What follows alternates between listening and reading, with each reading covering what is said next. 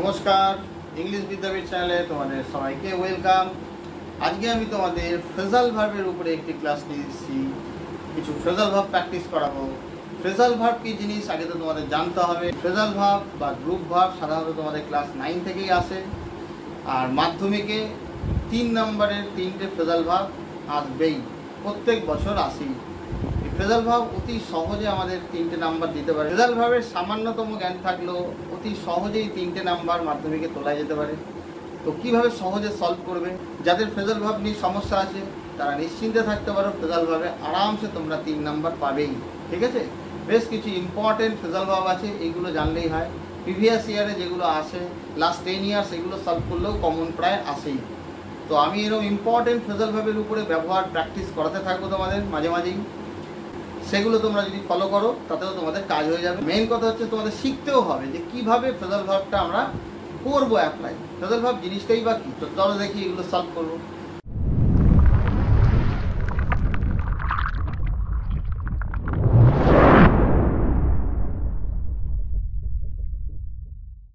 দেখো ডেফিনেশনই সব কিছু আমি বলে থাকি। তো ফ্রেজাল ভাব লিখেছি, দেখো ফ্রেজাল ভাব অথবা গ্রুপ ভাব এর আরও একটি নাম আছে প্রিপোজিশনাল ভার্বও বলে। তো ফ্রেজাল ভার্ব জিনিসটা কি? ফ্রেজ কথাটা থেকে আসছে ফ্রেজাল। ফ্রেজ মানে কি? শব্দগুচ্ছ মানে গ্রুপ অফ ওয়ার্ডস মানে মোর দ্যান ওয়ান ওয়ার্ড একের অধিক ওয়ার্ড ঠিক আছে? ফ্রেজ মানে তো একের অধিক ওয়ার্ড যেখানে কোনো ফাইনাইট ভাব থাকবে না টেন্সের গঠনের ভার্ব থাকবে না। কিন্তু কিছু ভার্ব আছে, কি বললাম? কিছু ডু ভার্ব আছে বা অ্যাকশন ভার্ব আছে, যারা একটা ফ্রেজ আকারেই বসে বা একটা গ্রুপ আকারেই বসে। গ্রুপ আকারে বসার জন্য কি করতে হবে? একের অধিক ওয়ার্ড হতে হবে।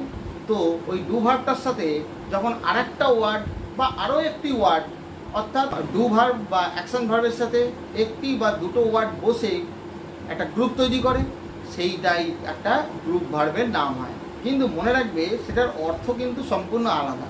একটা থার্ড মিনিং তৈরি করে। আমি তোমাদের এক্সাম্পলের মাধ্যমে বোঝালে তোমরা পরিষ্কার বুঝতে পারবে। ঠিক আছে? তো দেখো। এখানে দেখো বেশ কিছু আমি ফ্রেজাল ভাব লিখেছি। দেখো go through tell upon give put out এবারে দেখতে পাচ্ছ, প্রত্যেকটাই শুরুতে একটা করে ডু বা অ্যাকশন ভাব আছে। গো আছে টেল আছে গিভ আছে পুট এগুলো সব ডু বা অ্যাকশন ভাব আছে।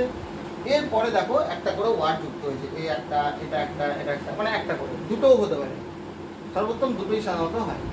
সেটারও আমি বলে দেবো তোমাদের উদাহরণ তো একটা উদাহরণ তোলা যাক, এই পুট আউট ধরো, ঠিক আছে? পুট আউট পুট মানে জেনারেল মিনিং কি হয়? ডু ভার্বের পুট মানে রাখা হয়।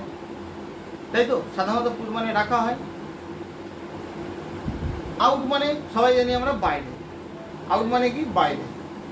তো পুট আউট আমরা সাধারণভাবে কি ভাববো? রাখো বাইরে, এরকম মানে। কিন্তু না, এরকম মানে এটা হলো না।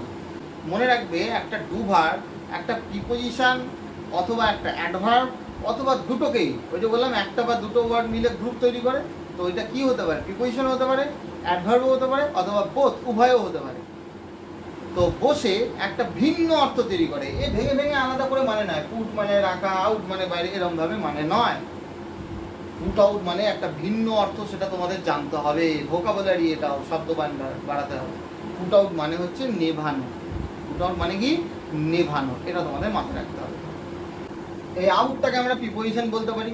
আউট প্রিপোজিশনও হয়, আবার অ্যাডভার্বও হয়, ঠিক আছে? সেটা সেটা বাক্যটার উপর ডিপেন্ড করবে কি সেটাকে ডিফাইন করা যায়, ঠিক আছে? সেটা কোন পার্সেস স্পিচ বলব সেটা বাক্যটার উপর ডিপেন্ড করে। বলে দিলাম প্রিপোজিশন নাহলে অ্যাডভার্ব নাহলে দুটোই বলব।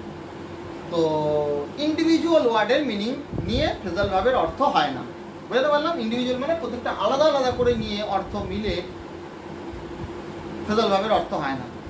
ও একটা ভিন্ন অর্থগুলো তৈরি করে, সেটা তোমাকে মাথায় রাখতে হবে। ভোকাবুলারি একটু শব্দভাণ্ডার তো কিছুটা মুখস্থ রাখতেই হবে। মুখস্থ না করলেও হয় এ করতে করতে প্র্যাকটিস করতে করতে একটু বুদ্ধি থাকলে সে অ্যাপ্লাই করে দিতে পারে। মুখস্থ না করেও হয়ে যায়, ঠিক আছে? তবুও এগুলো যদি তোমরা পড়ো, তো কোনো অসুবিধা নেই ভোকাবুলারি বাড়ালে কোনো প্রবলেম নেই, ঠিক আছে? শব্দভাণ্ডার বাড়াতেই পারো। যাই হোক, তো বুঝতে পারলাম? তো এইরকমভাবে তোমাকে প্রত্যেকটার মানে জানতে হবে। এই তো গেল ফ্রেজাল ভাব। তাহলে ফ্রেজাল ভাব বুঝতে পারলাম কি জিনিস? এটা কেন তাহলে ফ্রেজাল অর্থটা হলো ফ্রেজ থেকে আসছে ফ্রেজাল কথা? ফ্রেজাল হচ্ছে ফ্রেজের অ্যাডজেক্টিভ ফর্ম ফ্রেজাল। ফ্রেজ যুক্ত ভার্বটা এই যে দু ভার্বটা এই ফ্রেজ যুক্ত হয়ে গেল না? একটা প্রিপোজিশন বা অ্যাডভার্বকে নিয়ে একটা আলটিমেটলি একের অধিক ওয়ার্ড মানে ফ্রেজ। তো ফ্রেজ যুক্ত হয়ে গেল ফ্রেজে কিন্তু কোনো ফাইনাইট ভাব হয় না। নন ফাইনাইট ভাব হতে পারে ফাইনাইট ভাব হয় না। ফ্রেজে, ফ্রেজ আর ক্লজের ক্লাসে আমি শিখিয়েছি। কিন্তু ফ্রেজাল ভার্ব কখন হয়? যখন একটা ডু ভার্ব আর একটা প্রিপোজিশন বা অ্যাডভার্ব বা দুটোকে নিয়েই একটা ভিন্ন অর্থ তৈরি করে। তো একটা ডু ভার্ব আর একটা ওয়ার্ড বা আর একটা বা দুটো ওয়ার্ডকে নিয়ে যখন বসছে, তখন আলটিমেটলি ভার্বটা তো একটা ফ্রেজাল হবে ফ্রেজ যুক্ত হবে কিনা? শব্দ উচ্চমূলক হবে কিনা? বুঝেছ ওটা ওই ফ্রেজের সাথে গুলালে কিন্তু হবে না, এটা ফ্রেজাল ভাব পুরো আলাদা। এই ডু ভার্ব বা অ্যাকশন ভাব বললাম, একটা প্রিপোজিশন বা অ্যাডভার্বকে নিয়ে একটা ভিন্ন অর্থ তৈরি করে, সেটা তোমাকে জানতে হবে, কি অর্থ? এই গেল এবার গ্রুপ ভার্ব কেন নাম? কারণ এটা গ্রুপ আকারে বসে, দলগতভাবে বসে। গ্রুপ আকারে বসছে না, এটা গ্রুপ হয়ে গেছে না, একের অধিক ওয়ার্ড মিলে এই জন্য এটা গ্রুপ ভার্ব ওয়ার্ড আর প্রিপোজিশনাল ভার্ব কেন নাম? কারণ প্রিপোজিশন যুক্ত হয়, ওই জন্য এই যে প্রিপোজিশন যুক্ত হচ্ছে। ঠিক আছে প্রত্যেকটাতে দেখো, এই যে ইন আপন থ্রু প্রিপোজিশন যুক্ত হয়, জন্য প্রিপোজিশনাল ভার্বও বলে প্রিপোজিশন যুক্ত ভার্ব কিন্তু ভিন্ন অর্থ, বারবার বলছি থার্ড মিনিং তৈরি করে, সেটা জানতে হবে। আচ্ছা দুটো উদাহরণ একটা বলে দিই, এখানে নেই লিস্টে নেই। পুট আপ উইথ একটা আছে ওয়ার্ড অনেক আছে, তার মধ্যে put up with put up with মানে কি? দেখো পুটের পরে আপ উইথ দুটো ওয়ার্ড উইথটা তো প্রিপোজিশন আপ একটা অ্যাডভার্বও হয়, তো এটাকে অ্যাডভার্বও বলতে পারি। অ্যাডভার্ব আর প্রিপোজিশন মিলে বসল। পুট আপ উইথ মানে কি? ভিন্ন অর্থ। পুট মানে রাখা আপ মানে উপরে উইথ মানে সঙ্গে, সাথে, এইসব নয়। ভেঙে ভেঙে করলে হবে না ইন্ডিভিজুয়াল ওয়ার্ড এর ভিন্ন অর্থ জানতে হবে। পুট আপ উইথ মানে কি? সহ্য করা। বাংলায়। ঠিক আছে? সহ্য করা। তো বোঝাতে পারলাম, আশা করি ফেজাল ভাবের ডেফিনেশন সহ। ফেজাল ভাব কি জিনিস গ্রুপ ভাব কি জিনিস ক্লিয়ার করাতে পারলাম?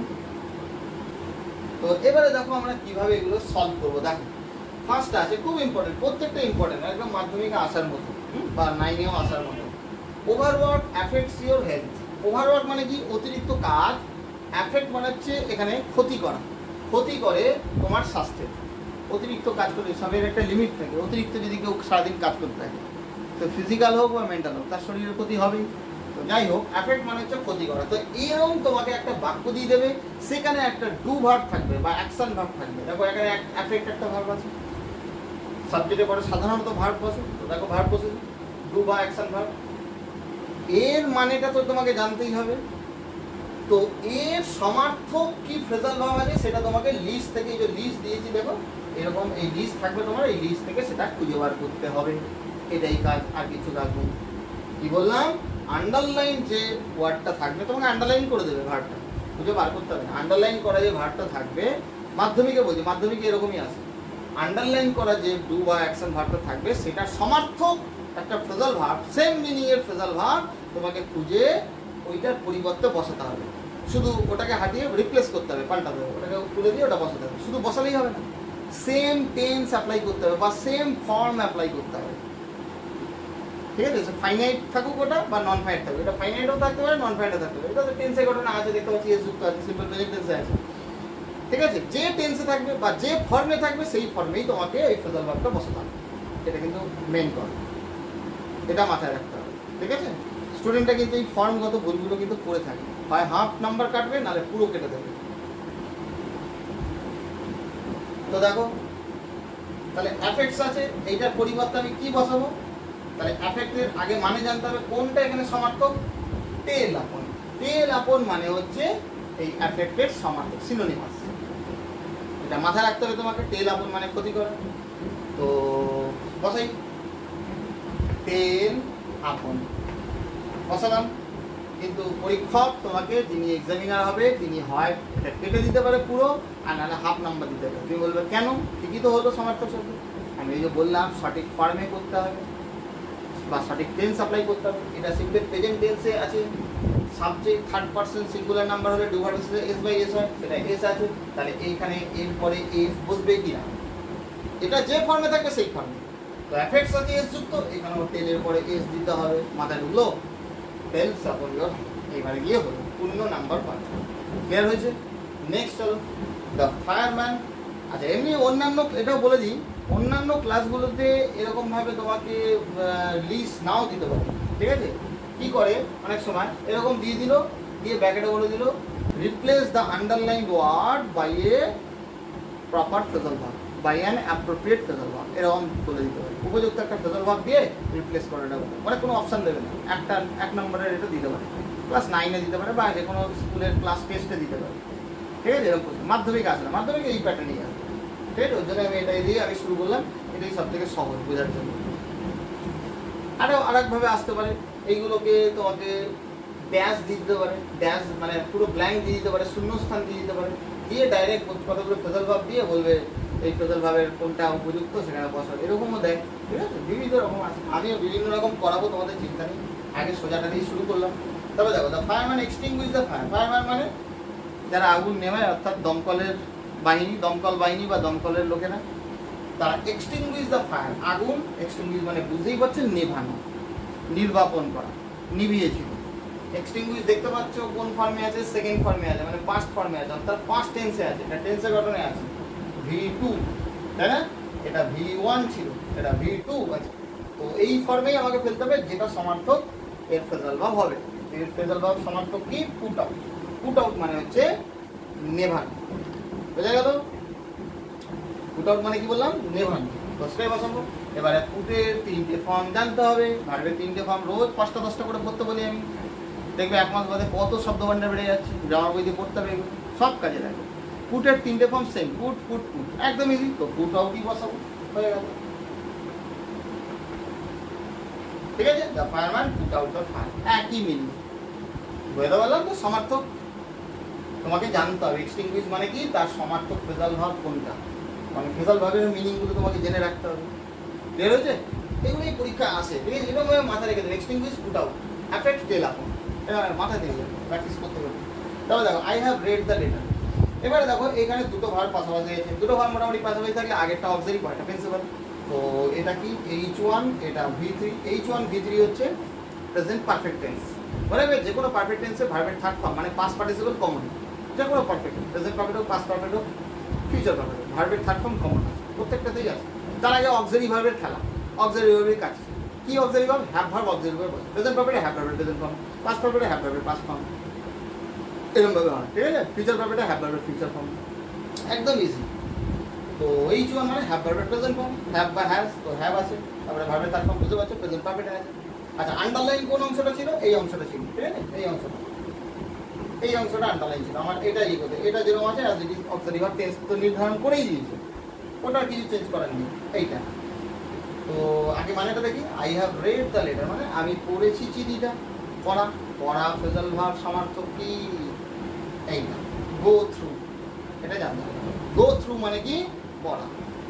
ঠিক আছে? তো এবারে বলো, এটা থার্ড ফর্মে আছে রিডের তিনটে ফর্মই সেম না? রিড রিড রিড উচ্চারণটা রিড রেড রেড হয়। স্পেলিং একই। তো এটা জাস্ট কি করব?